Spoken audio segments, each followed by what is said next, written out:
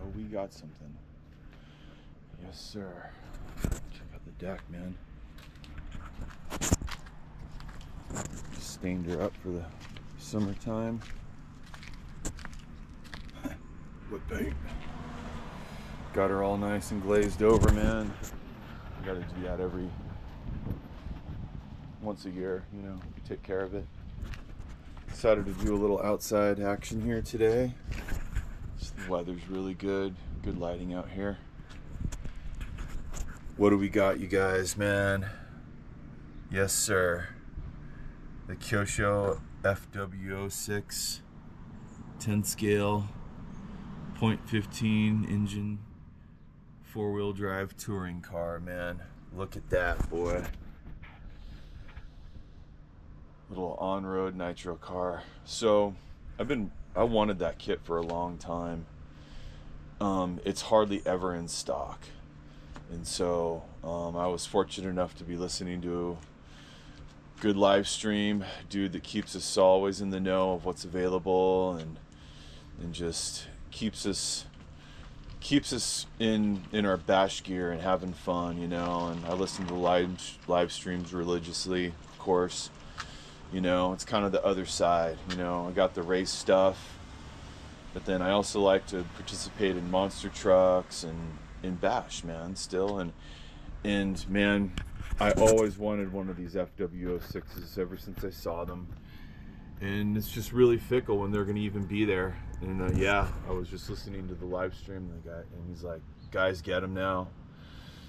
Or he just said he, his buddy just got one. He even say, "Get him now." He's like, "Yeah, they just got one. They should be in stock." And I run over there. They're in stock. Oh my god, they've been on back order for like almost a year, man. And now they were available for what felt like less than a business week. They're already on back order. Can't even get them right now. I'm sure there'll be another run of them, you know, but I'm really glad that I just happened to be listening to the live stream that night and he directed us toward them and I used the link that he gave us. So hopefully they know that he's trying for the people. And payout, I got me my own FW06 and I'm super stoked. So what I'm mostly stoked about is the fact that this car comes with an engine. I think that's really cool. That just, I mean, there's there's there's touring car kits available. You know, they've been available the whole time, but this just comes with its own little engine, and that to me is bitching. I want to compare how this engine runs to my um, to my quad rider. You know what? Yeah. Hey, Racer Eddie. Racer Eddie. Huh? What's going on? You want to supervise this unboxing?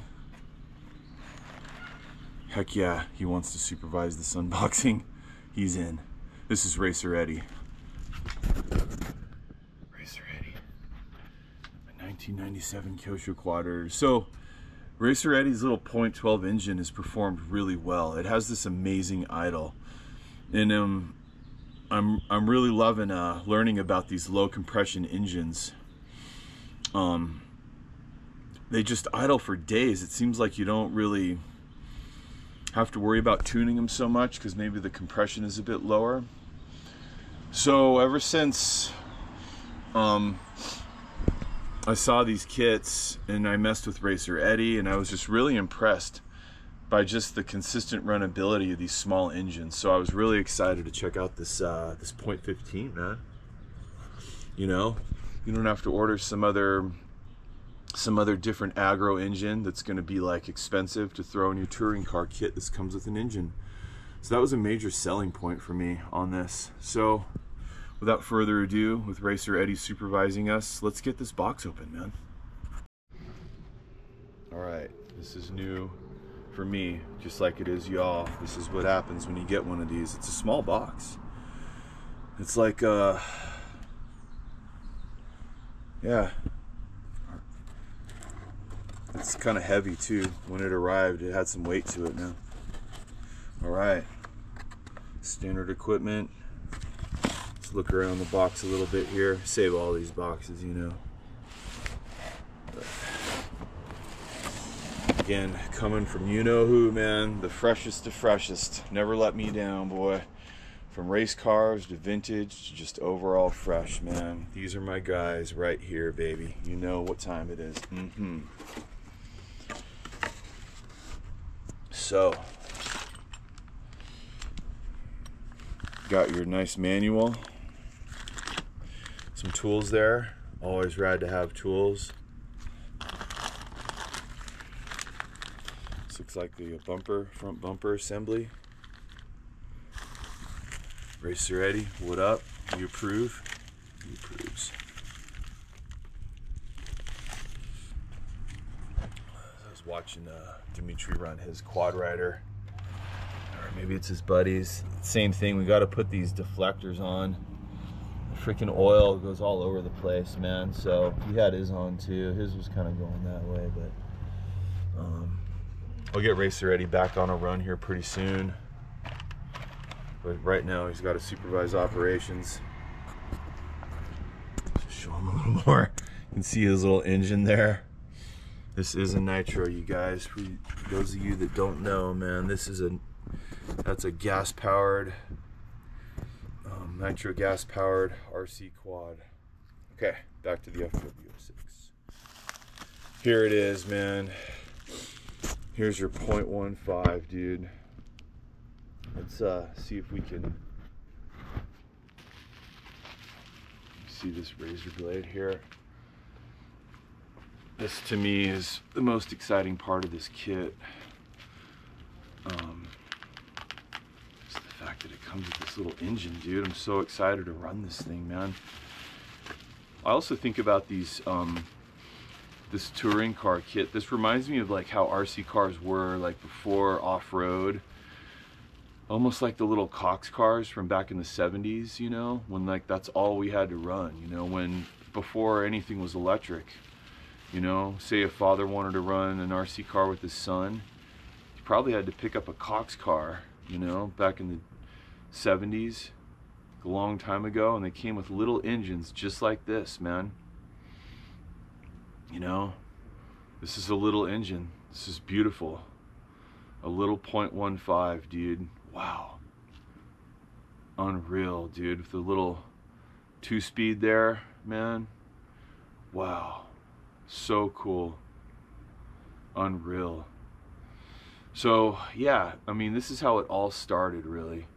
Were um, just little on-road cars, little gas-powered on-road cars. That's how the whole RC game started. So this kind of just reminds me of a major throwback, and I love stuff like that, you know. Get back to the real. That piston's up top, I think. so, all right, we got our engine here. I might want to uh, put the bag back around it. So, should be good, man. I'll get this thing broken in proper and I have a feeling that this little dude's just going to be an awesome little workhorse. I want to run something that, um, from what I can tell, these cars aren't very loud too. Maybe I could get away with running it across the street. You know, just set up some cones and have a good time. Just pretend, pretend it's like the 70s, dude. And we don't have any electrics, and all we can do is just run little gas cars. That's what I want to do, man. I want to pretend it's like way back in the day, dude when all you brought was just a little thing of gas, your car, and your little radio. Only I won't have like a long antenna, but that's it, dude. I want to take some vintage on-road style runs with this dude right here. Doesn't come with a body, but so we got our tires. Pretty rad, man. They look pretty good. Um, I'd like to actually be able to drift with this thing, so hopefully I can buy multiple sets of tires. Um, I'd like to do some aggressive cone running type drifting style stuff. Some gears and stuff. So, for those of us that have built cars, man, this is no big deal. And let me say, man, for what I'm getting out of this box and for what this car is going to do for me, they're practically giving these away. $289 for um, an, uh, an on-road nitro kit that comes with an engine. I mean, engines are two hundred and eighty nine dollars. I feel like they're just giving these these things away. I couldn't I couldn't believe the the deal, man. Like you get an engine with these. Look at that little fuel tank. Rad, dude.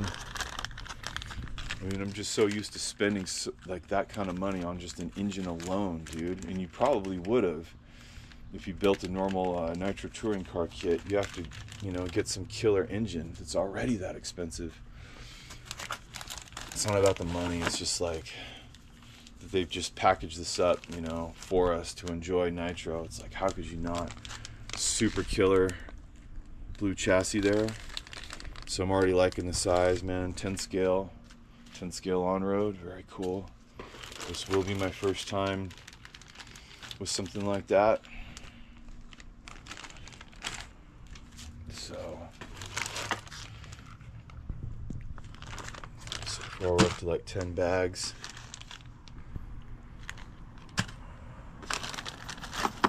Little shocks, aluminum shocks, man, killer quality shocks, oil filled aluminum shocks, little arms, super little arms. No first dates with curves with this bad boy, man. I gotta be careful. Respect it. and uh, the little pipe. Unreal, man, unreal. It really reminds me of old Racer Eddie over here. Just just little components, you know, that uh that do the job, you know. Racer Eddie's still real functional, good to go. I messed up his brakes though. He's got no brakes, but um, so yeah, man. I think old Racer Eddie approves of the FW06. He's looking over there, going, "What up?" and uh, yeah and i'm really stoked man so it's gonna be a while before i assemble this um, it's summertime right now got a couple things coming up that'll keep me away from my hobby table for a bit but i'm really happy man so the goal here again is just to take some just to uh, run a car like it like it was the 70s like for real man like like the very first gas powered rc cars were probably a lot like this man just small cars that you just ran kind of close so you didn't have a runaway. And that's all I really want to do. I just want to set up some cones and just have a good time with a little RC car, gas powered, man, for real. Yeah, and uh, we'll go ahead and do that. It'll take me a while to get this assembled. I have to get a body and you put your own electronics in. But for those of us that have um, that have run Nitro, we already know how to do this stuff. That's no big thing. I have lots of extra receivers. I'll probably throw it on my, uh, I'll probably throw it on my on my Noble 4 Fly Sky and be good to go, man. Yeah, by the time I get this back together, it will have cooled down. It's really hot right now, but um, I'll do a proper break-in on the little engine. Let's see if the um, let's see if the book um, gives us um, break-in recommendations for these little point 15s because that's a new one that's a new one on me boy um, being in charge of a break-in on a little engine like that. This isn't something I'm gonna send over to Lance. No need to you know? So yeah. So any anyways I'm really excited about this thing man. These things were gone in, min- in literally in minutes, dude. You know, in minutes. So, yeah, man, ordered it right right away, right away, right when I heard that these things were up. Man, it, it had to happen. This looks like it'll be a fun build. Builds always are fun, man. Really enjoy that, spreading everything out. Maybe I'll start building it when uh, you know when the weather cools down and we're not out there doing summertime stuff okay the 15 engine is a high performance engine and you got to break it in properly okay please read okay. So it does feature a page talking about the little engine here which is cool. And then there is a page dedicated to the break-in.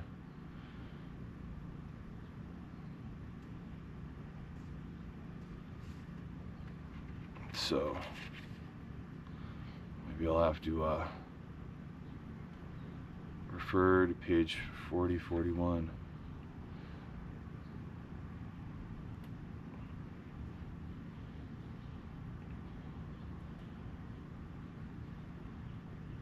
Always breaking the engine as per page 39. Huh. Oh. Okay. Um without going to full throttle, do five tanks. So Kyosho says five tanks. Make sure don't don't run it empty. Five tanks, not full throttle. You know, so just you know, five tanks of just chilling, I can do that. That's easy, man. So, yeah, I mean, again, without this being a high compression engine, um, maybe, uh, you know, you don't, the breaking process is just a little different for the metals and everything. So, we should be good. I'll watch a few other videos to see what people are saying about this. It'd be great to talk to some others that have uh, broken these little engines in. I would love to get additional feedback on uh, breaking in a 0.15 little engine. It might be the only time I do it. so, anyways, man, got your Kyosho FW06. Again, there it is. So, yeah, the build will take me a little while. Who knows though, man? Once you start building a car, sometimes they just go together like that. I will have to find a, a body though, and all that stuff. So, all right, that's it, you guys. I wanted to just put out a little um, little RC content. I've been going on kind of a sick run with music lately, which is cool. You know, that's just what it is, man. Music is one of my hobbies, and uh, I like to put stuff on my channel that are my hobbies. It's just my channel is anything I do to enjoy life. So when we say RC, it could be really it's hobbies, music, skating, dirt biking, building RC cars, hobbies, man, hobbies. So, yeah, I went on a little run of uh, putting music there. If the music did progress, I'd probably hook up a different channel for that, but um, there wouldn't be anybody, any subscribers to listen to it. So, I just put my music on my RC channel, man. I don't know. A couple people listen, so it's cool. It's cool to me. Um, but uh, like I said, though, it's good to get back to a little bit of RC RC content here. Um, right now, up in uh, Idaho, up at HRCR, the, the 10 scale shootout is going on. Up in the Pacific Northwest, Adam Drake is um, through a, a, gas truck party, man. For real, he he's throwing a gas truck party right now up at HRCR in Idaho. So it's cool that Adam Drake is utilizing our um, our awesome scene up here in the Pacific Northwest. He lives down in California. Um, but um, I'm seeing like a pretty rad little highway there, you know. Who knows? I don't know. Maybe the Drake will love it up here and, and, decide, hey, man, it's a good scene up here, man. This is where I want the the uh, the, the master the master master class pools to be from here on in. I could see it, man. I could see him just wanting to like sort of be around that. It's such a rad scene over there. Uh, one of our crew called me yesterday and told me he's going. Dylan, what up? And uh, Dylan and Jake, a couple other NCTers, dudes gnarly uh, eight scale buggy guys are up there running 10 scale two wheel drive stadium and, and a couple other things. I don't think either of them are in gas truck, but a few guys are that I've seen running eight scale buggies and stuff. They went ahead and got their 10 scale gas truck gear together, so that's really cool, man.